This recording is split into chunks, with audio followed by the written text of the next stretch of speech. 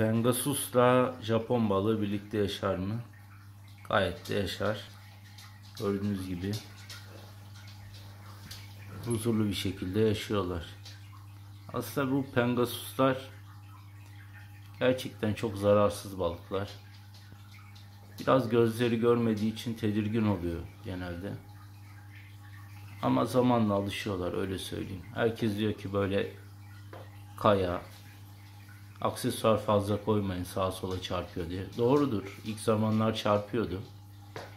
Ama sonradan alışmaya başladı. Hiçbir yere çarpmamaya başladı.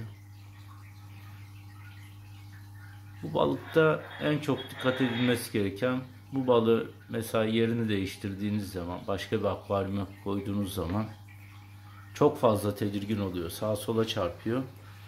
Onun için akvaryumunuzu her zaman temiz tutmanız lazım. Mesela ben dış filtre kullanıyorum. Sürekli suda değiştiriyorum. Akvaryumu temizleme gibi bir problemim yok. O yüzden akvaryumum her zaman temiz kalıyor. Vatoz balığım da var şu anda gözükmüyor. Mesela minik balıklarım da var. Bunlar herhalde tetra diye geçiyor. Fosforlu. Yani pengasus onları da yemiyor. Öyle söyleyeyim. Çünkü tetralar çok hızlı.